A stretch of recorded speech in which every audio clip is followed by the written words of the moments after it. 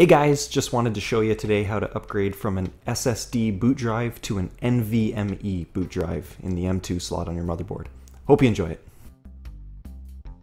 Okay, first of all, what is an NVMe drive? NVMe stands for Non-Volatile Memory Express.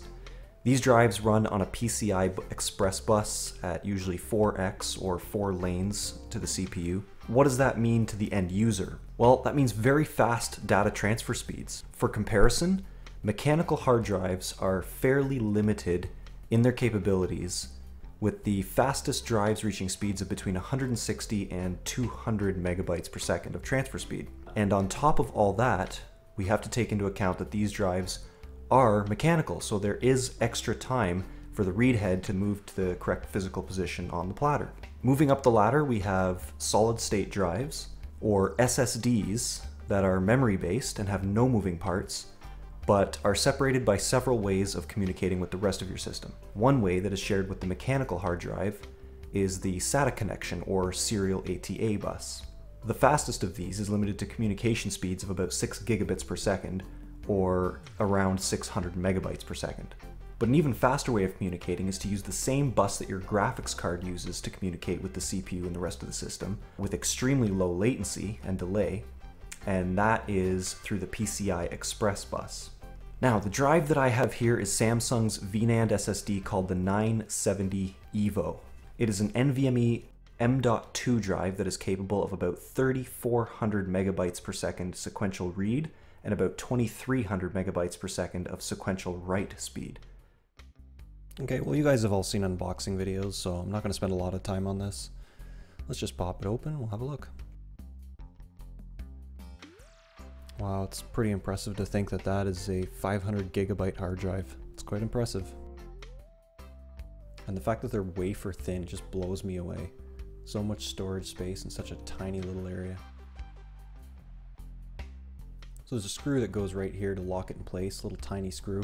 And that's about it. It's a really straightforward install. So um, let's jump right over to the computer. We'll have a look. So my particular NVMe drive is a 2280 form factor. And what that is, is 22 millimeters wide and 80 millimeters long. It's one of the most common form factors besides 2242. And in this particular case, I had a little standoff that was uh, set to the smallest form factor there. I don't recall the measurements on that, but um, I had to move it to the end there. So that's relocated now. And then all there is to it is you take the slotted end and check which way the slot is, where the slot is on the uh, on the connector, and then you'll you'll pop that in on a bit of an angle. It, it sticks off the board about 20 or 25 degrees, and that's the easiest way for it to, to slide in. Just gonna swap my light over to the other side here so you guys can see what's going on. So just a little bit of wiggle, that slides right in just nicely. And it's it's perfectly normal for it to hang out, like I mentioned, it's a, about 20 or 25 degrees, it'll stick off of the motherboard. And just grab your screw. And uh, you don't want to reef this down, obviously, you're just catching the little back edge of that, line it up, and tighten it down here. And there's no need to reef on it, just snug it up. And just like that, you are NVMe ready. Next step is to figure out what cloning software you're going to use. There's quite a few on the market, some paid, some free, not all the same, but uh, figure out what choice is good for you. In my particular case, I'm going to use, because it's a Samsung drive, I can use the Samsung data migration tool. So where you get that is uh, samsung.com and it'll pull up your country. Go to the support tab, the manuals and downloads under product support, and then you'll see select your product for manuals. We want storage, and look at that right there, my 500, uh, 500BW is my model number, so that's the one I want. So we're gonna uh, click on that to select it. And there, there right there is the data migration tool for Windows 32 or 64-bit 10. So we're gonna download that. And I've already downloaded it, so I'm re-downloading it, but that's fine. It takes as fast as I can click on it. And then you're gonna run that software, prove the UAC warning if you receive it, allow it to install,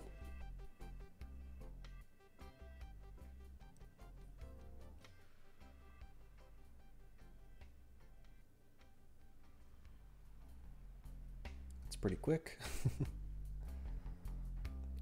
okay, so now we have the Samsung data migration tool installed. So now what we're doing is we're we're figuring out which drives we need to use to do the data migration. For most people, it's going to be fairly straightforward. Uh, it was in my case, but uh, in this particular case, we're going to double check with the disk manager. Okay, so we have two ways we can do this. We can either press Windows key and X combo, or we can do right click on the start menu and select disk management. That will take us to this tool here. Okay, so there's the drive I'm looking for, my disk 3. It's a 500 gigabyte NVMe drive. It's the only 500 gig drive I have. So that's the drive that I'm cloning to. And the drive I want to clone from, you would have seen pop up a couple of times there, is disk 2. That's my 256 gig ADATA uh, 900 Pro something or other, I can't remember. Okay, so now that we know which drives we're looking for to do the cloning from and to, we're going to open our data migration tool. And so SSD is going to be the one I'm going from, my 256 gig, and I'm looking for my 500 gig NVMe drive to transfer to. Now, I believe the Samsung tool will only allow you to transfer to a Samsung disk, so it'll only work if you have Samsung use your cloning tool and uh, obviously double check what you're cloning from and to so you're not overwriting good information.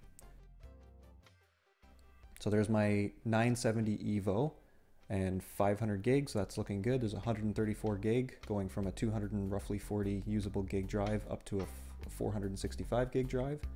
So everything looks good. We're gonna hit start on that. And they do recommend closing everything. So I basically shut down everything that's running in the background even and just let this thing do a nice clean clone. Okay, so there you have it. The Samsung data migration is finished. We have our target disk, the SSD 970 EVO 500 gigabyte. It's done, stating there's 330 gigabytes of free disk space available on the target disk. So that is the boot drive that we want to have booting now. We don't want to be using our other SSD. So if we open up File Explorer here and we go down to local disk C, uh, that should still be our original drive. And then local disk F is our new NVMe. And of course it's unavailable because it's not, uh, it's not set up yet in Windows. So what we have to do is have to do a reboot and we're gonna reboot and unplug the current C drive, which local disk F is actually, does have a C volume designation.